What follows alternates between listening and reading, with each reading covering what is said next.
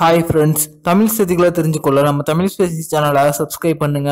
பாமகவின் இளைஞரணி தலைவரான டாக்டர் அன்புமணி ராமதாஸ் அவர்கள் மீதான ஊழல் வழக்கு ஒன்று தற்போது விசாரணைக்கு வருவதன் காரணத்தினால அவருடைய அரசியல் எதிர்காலமே கேள்விக்குறியாகி இருக்கு. அது பத்தின முழுமையான விவரத்தை பார்ப்போம். டாக்டர் அன்புமணி ராமதாஸ் அவர்கள் ஐக்கிய முற்போக்கு கூட்டணி அரசில் மத்திய அமைச்சராக இருந்தபோது அவங்களுக்கு சுகாதாரத்துறை ஒதுக்கப்பட்டு இருந்தது. அந்த சமயத்தில் மத்திய பிரதேச மாநிலம் இந்தூர் மற்றும் உத்தரப்பிரதேச மாநிலம் பரேல் ஆகிய இடங்களில் இரண்டு மருத்துவக் கல்லூரிகளுக்கு இவங்க முறைகேடா அனுமதி வழங்கியதா புகார் எழுந்துச்சு. இதனைத் தொடர்ந்து இந்த வழக்கை விசாரிக்க சிபிஐக்கு உத்தரவிடப்பட்டது. டெல்லியில் உள்ள சிபிஐ கோர்ட்டில் இந்த விசாரணையானது தொடர்ந்து நடைபெற்று வருகிறது.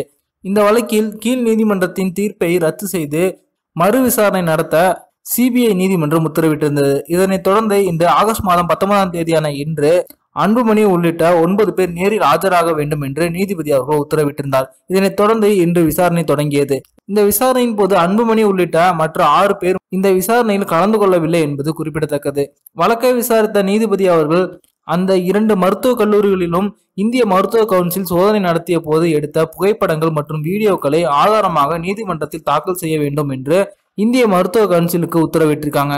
அதோடு இந்த வழக்கை மீண்டும் ஆகஸ்ட் மாதம் இருபத்தி ஒன்பதாம் தேதி ஒத்திவைப்பதாகவும் சொல்லியிருக்காங்க.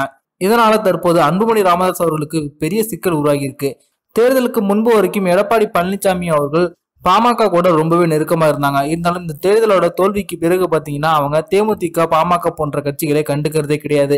இதனால தற்போது அன்புமணி ராமதாஸ் அவர்களுக்கு மேலும் நெருக்கடி உருவாகி இருக்கு எடப்பாடி பழனிசாமி அவர்கள் மனசு வச்சாங்க அப்படின்னா கண்டிப்பா அவங்க பாஜகவோட தலைமைக்கு அழுத்தம் கொடுத்து அன்புமணி அவர்கள் மீதான இந்த வழக்கில் இருந்து அவங்களை விடுவிக்க வைக்கலாம். இதனால தற்போது அன்புமணி ராமதாஸ் அவர்கள் எப்படியாவது எடப்பாடி பழனிசாமி அவர்களிடம் இந்த பிரச்சனையை பற்றி பேசி கண்டிப்பா இந்த வழக்கில் இருந்து விடுபட்டு ஆக வேண்டும் அப்படிங்கிற ஒரு கட்டாயத்தில் இருக்காங்க. இருந்தாலும் எடப்பாடி பழனிசாமி அவர்களோ இந்த தேர்தலுக்கு பிறகு அவங்கள சுத்தமா கண்டுக்காம ஒதுக்கி வச்சிருக்காங்க. விரைவிலேயே இந்த வழக்கு விசாரணைக்கு வர இருக்கிற காரணத்தினால தற்போது அன்புமணி ராமதாஸ் அவர்களுடைய அரசியல் எதிர்காலம் பெரிய கேள்விக்குறியாகி இருக்கு அப்படின்னே சொல்லலாம். இந்த வீடியோ உங்களுக்கு பிடிச்சிருந்துச்சுன்னா லைக் பண்ணுங்க ஷேர் பண்ணுங்க. நன்றி.